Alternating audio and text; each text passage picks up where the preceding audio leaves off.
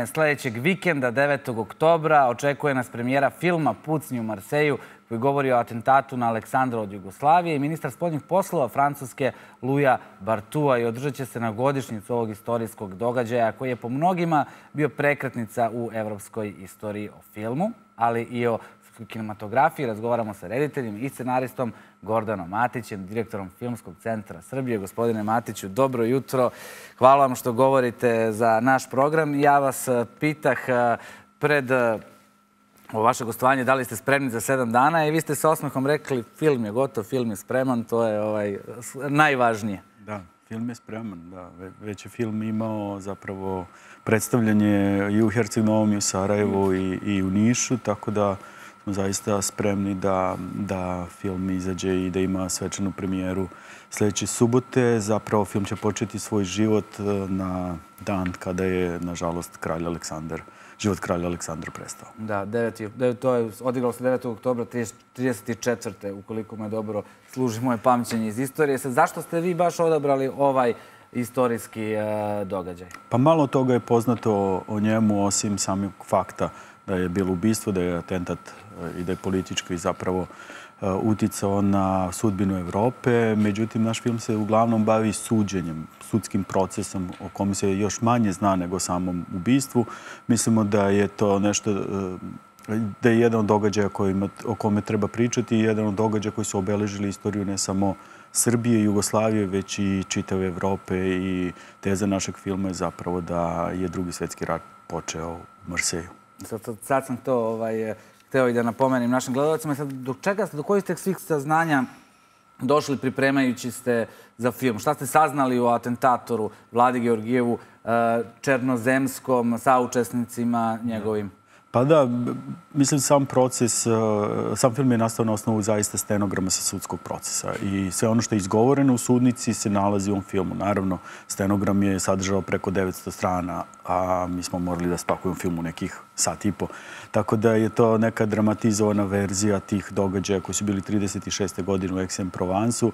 Vlada Georgijev već na taj deo pitanja je bio profesionalni ubica koji je ubio za, za VMRO bugarsko-makedonsku terorističku organizaciju, ali bitnije je bilo ko je stajao iza atentata i to je ono što zapravo je ispušteno na suđenju. Pitanje je zašto. Da, i postoji ta teza koja se provlače, su svi znali za atentat i da li je mogao on e, biti sprečan. Tako je, to je zapravo um, jedna od stvari koja je izneta i u Društvu naroda. Naš predstavnik, jugoslovenski predstavnik Fotić uh, u Društvu naroda 30. godina nakon atentata je rekao baš to da su svi znali za atentat i međunarodna policija i francuske bezbedonosne snage i sam kralj je znao, a atentat se ipak dogodio.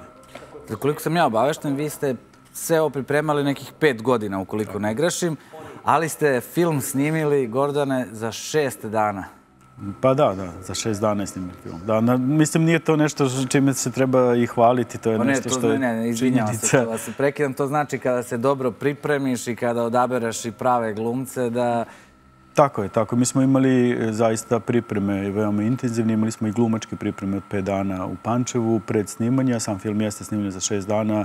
To nam je dozvoljavao zapravo ta kamernost e, jedne sudske drame ovaj, nam je dozvolila da nekako pokušamo da, da učinimo to za što kraći rok, a da ispadne što kvalitetnije. Kad ste već pomenuli sudsku dramu, uh, film ima, kako su mi rekli, pseudo-dokumentarne delove. Mi vidimo glumca da svedoče kao u dokumentarnim filmovima kada gledamo akte. Pa jeste, to mi je bilo interesantno. Da... kakav, je taj, kakav je utisak, na primjer, u Herceg Novom, u Sarajevu to ostavilo na... Pa ja mislim dobar, do sada su dobre reakcije uglavnom. Zaista, eto, bilo mi interesantno da imamo taj pseudo-dokumentarni teonirički intervjue koji su mogli da se dese, jeli, ne znam, nakon suđenja, pa ne znam, do nekih e, kasnih 70. godina kada su posljednji svedoci još uvijek bili uči, i učesnici živi ali eto mi ih stavljamo u neki prostor i neko vreme koje nije određeno. Činilo mi se interesantnim, nisam kod nas do sad video takvu, um, takvu strukturu. To je bio eksperiment vaš? Pa na neki način uh, sam želeo da približim i ovu temu savremenom gledacu. Mislim da je savremeni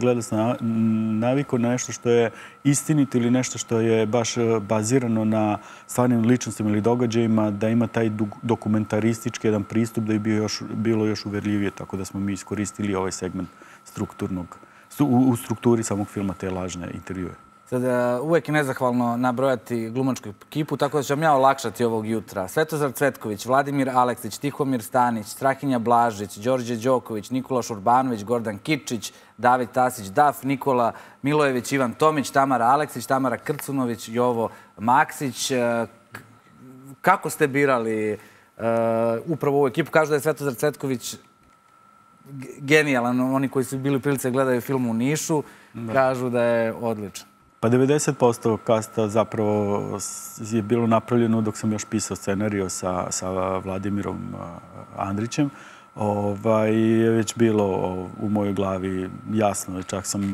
te dijaloge prilagođavali određenim glumcima i 90% zaista ljudi sa kojima sam želeo da radim. Ovaj film je u tom filmu. Eto, nažalost, nije se poklopilo zbog nekih drugih obaveza, par uloga, ali, ali zaista glumački mislim da je, da ovo, ovo jeste glumački film. Znate, e, nije ni malo jednostavno e, dramu, odnosno sudsku dramu bazirati samo na sukobu dijalogu. A da bude interesantno gledalcem tako, Mislim da je to baš onako glumački film. Da li će biti nekih debata nakon što je to i šira publika u Beogradu 9. oktobra u Kombank dvorani pogleda baš pucnji u Marseju? Ne znam, to je, to je sad stvar već do publike. Ne znam, zaista mislim da bi trebalo da privuče pažnju samom temom i kako smo mi tretirali tu temu sa jednom tačkom gledišta koja je vrlo neutralna. Želi smo da humanizujemo cijel taj proces, da to nije samo u knjigama iz istorije onako tri reda gde mi vidimo šta se desilo, koji je učestvovao i šta je bio epilog, već kao da probamo da malo ispod te površine zagrebemo. Mogu se setim u kom se razred osnovnoj školi izučava ovaj deo naše istorije, da pozovem upravo te osnovoškolce, da možda na prvom mestu eh, oni dođu, ali verujem da ćemo svi mi naučiti mm, 90% stvari koje nismo znali upravo u ovom događaju. Da, mislim da je to jedna od vrednosti ovog filma, baš donošenje pregršna ovih informacija, proverenih informacija, znači istorijski tačnih informacija i eto, nekih ljudi koji su možda zaboravljeni u istoriji. Vama najviše govori o tome koliko je meni interesantan film. Kad smo samo o filmu pričali, nisam iskoristio ni minut vremena za priču o Filmskom centru Srbije, tako ćete morati da nam dođete ovaj pomoć, gospodine Matiću. E, Gordan Matić bio je moj sagovornik. Mi vas podsjećamo 9. oktobra, e, Kombank dvorana, premijera filma Pucni u Marseju.